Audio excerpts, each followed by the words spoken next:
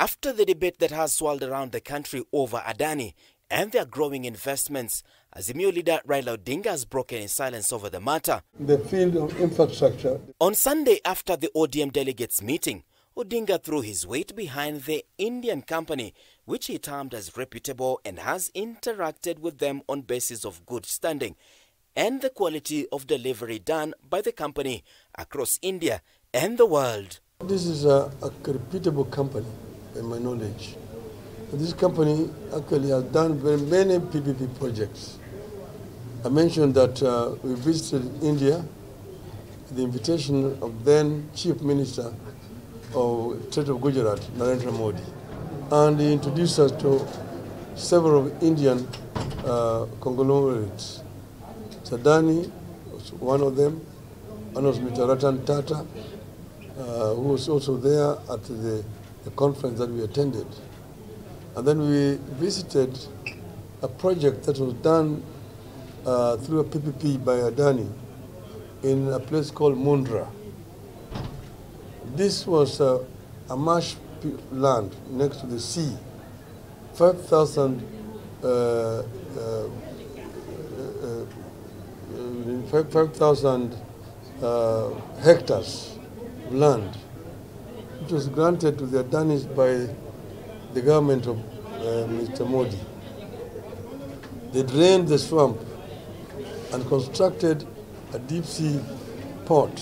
According to the former premier, the misinformation about the Indian company and any other international investment company could seclude the country and scare away investors who in turn could opt to invest in the neighboring countries who equally require investors. Heaviers that the country is currently undergoing serious financial gap that can only be filled through investments. Given the current financial status of the country, PPP is the only way out of cash incentive projects for these projects. If we plant doubts in our capacity to handle the PPPs, we must be prepared for a prolonged period of development drought and risk being overtaken by our neighbors. The Adani Group have taken over the country by storm and have expressed interest in upgrading of Jomo Kenyatta International Airport have been mentioned under the health sector with the rollout of SHIF. And on Friday, the government announced that the country has signed a deal between Ketraco and Adani. Ongoing energy and airport projects therefore present a critical test that could make or break our ability to compete in the field of infrastructure development for a considerable period.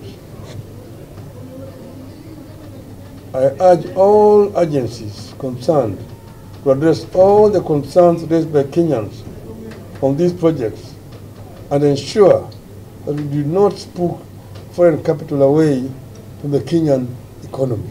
As per the former premier, Adani expressed interest in the country over a decade ago but the absence of a legal framework hindered further involvement. Odinga reveals that laws governing public-private partnership were based on those of India, but maintained that a lot need to be done to attract investor confidence. Likely to try to condemn very reputable companies.